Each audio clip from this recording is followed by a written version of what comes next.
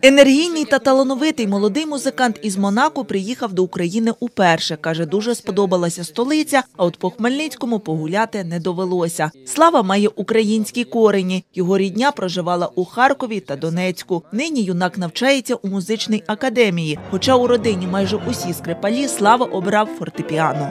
У нас стоял синтезатор, было шесть с половиной или семь.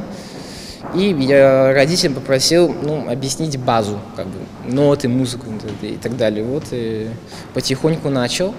Через год поступил в Монахскую академию.